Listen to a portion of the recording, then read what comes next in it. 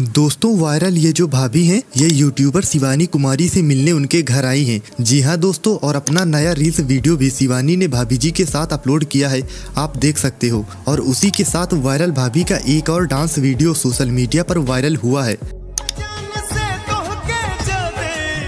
पागल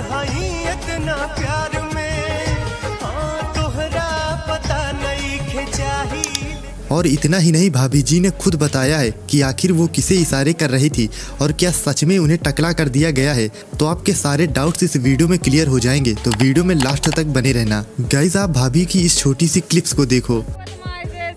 कर रही थी। अब यार नहीं पता ये सारा किनके गाय कर रही थी? बताओ किनके